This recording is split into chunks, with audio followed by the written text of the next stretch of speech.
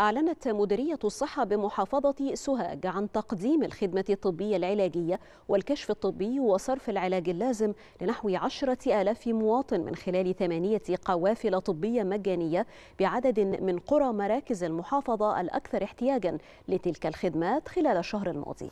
تأتي القوافل ضمن المبادرة الرئاسية حياة كريمة لتقديم الخدمة الطبية والعلاجية بالمجان للمواطنين بالمناطق والقرى والنجوع التي تحتاج للخدمات الطبية. هذا وانطلقت اليوم بالوحدة الصحية للمنطقة الصناعية غرب طهطة قافلة طبية مجانية. تم خلالها توفير جميع التخصصات الطبية المختلفة لتوفير خدمة طبية مميزة ومتكاملة. موجودين جميع التخصصات الطبية في المستشفى والأطباء يقومون بالتوقيع الكشف الطبي وهناك في استجابة جيدة من المواطنين لتوقيع الكشف الطبي وتقديم الخدمة الطبية بالمجان والعلاج بالمجان.